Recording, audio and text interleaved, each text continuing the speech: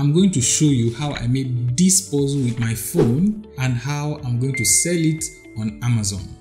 So the first step is to write out the list of words I'm going to use. Since this book is for boys, I'm going to be using words from sports, entertainment, technology, science, all those things that boys are generally interested in. If you want to make your own puzzle book and you choose to do a 100 puzzles with 20 words per puzzle, that means you are going to multiply 120 which will give you 2000 words. This book will have 85 puzzles in total and 15 words per puzzle. To generate these words, I'm going to go to Google and type list of 100 different types of sports, copy and paste them in my note app, then went back to Google and typed list of 100 different types of tech skills copy and pasted them in my notes. I kept doing that until I got the total number of words that I wanted. When you are generating your own words, make sure you are careful not to repeat one word more than once. The next step was to generate the puzzles and to do that I needed this app, Puzzlopolis. I will leave a link to this app in the description or you can go to Play Store and install it yourself. So I went to my notes and copied the exact amount of words I wanted to use per puzzle, which was 15 words. Go back to the puzzle app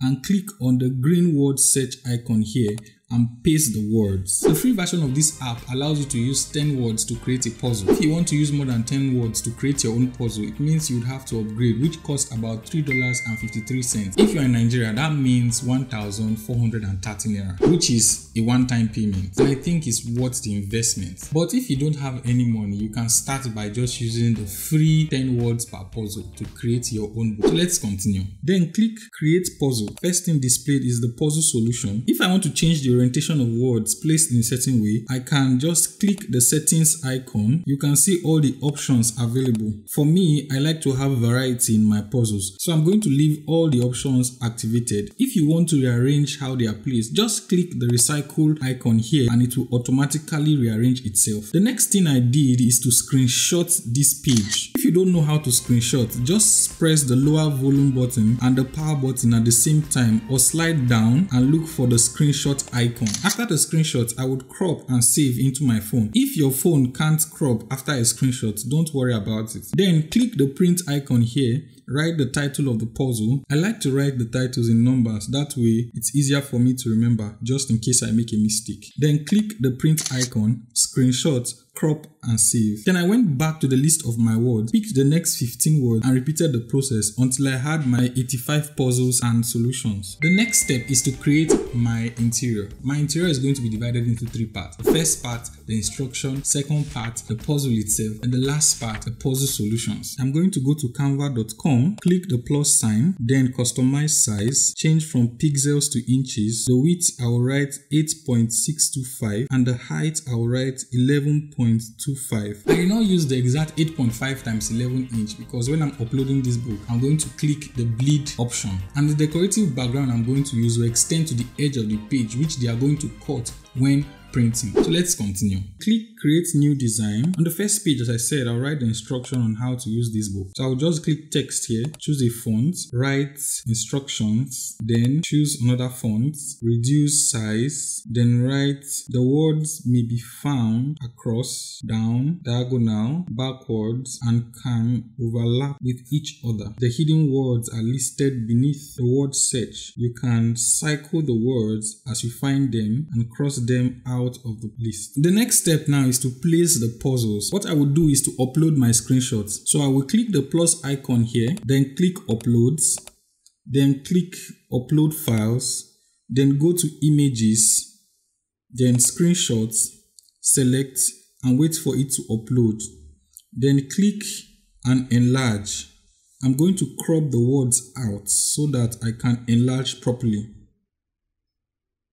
Make sure it does not get close to the edge so that when they are printing, they won't cut off the words. Then I can just duplicate and get the words out. You might want to type them out manually so that the words does not look like it is photocopied when printed. The next thing I want to do is to edit this a little. Click on the puzzle itself, click on the adjust icon, set brightness to minus 30 and contrast to 100. That way it doesn't look like a photocopy. Then I would write puzzle 1 up by clicking the text icon here. Then for the decorative background, I went to pixabay.com, then clicked images here, change to illustrations, search for mandala patterns, then selected about 5 to 10 different types of patterns and downloaded. After that, I went back to Canva and uploaded. Click upload, upload files, download and select.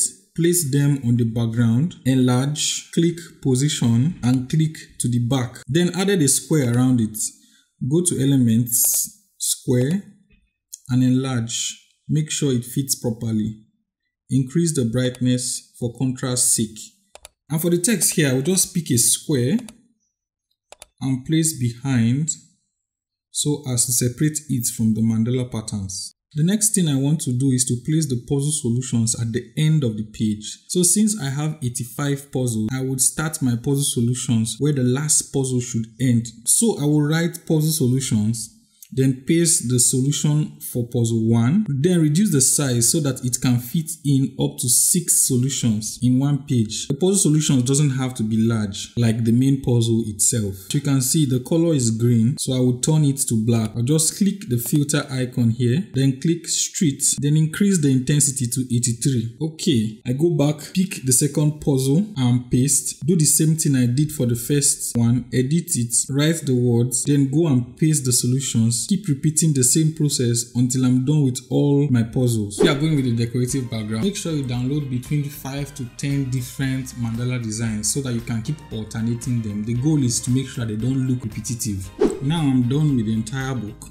The next thing is to download as a PDF file. Click this icon here, then change from PNG to PDF print, then click download and my interior is ready. The next step is to create my cover. People buy a new book basically for how the cover looks like. Cover design is very important. If you don't know how to get the dimension of your cover, just go to Amazon cover calculator, follow the instructions, select the dimensions for your interior, write out the total number of pages, then it will automatically give you the dimensions of your cover. So let's continue. I'll go to canva.com, click the plus sign, click customize size, change from pixels to inches, width 17 points 465, height 11.25, then click create new design. The first thing is to have my background. So I went to Pixabay, typed for mandala under images here, looked for a beautiful design. I liked this butterfly, so I downloaded it, then went to Canva to upload it. Always remember that this side is the front cover and this side is the back cover. You can see the virtual line that differentiates it. So I will try to manipulate this image to become my background. Making the cover took a lot of time, so I'm going to just speed up the process, but I will tell you the basic things I did. I added some elements, majorly squared shape,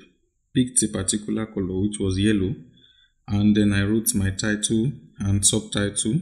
Then I took a screenshot of my interior from Canva, uploaded it back into Canva to give an example of how my interior looks like.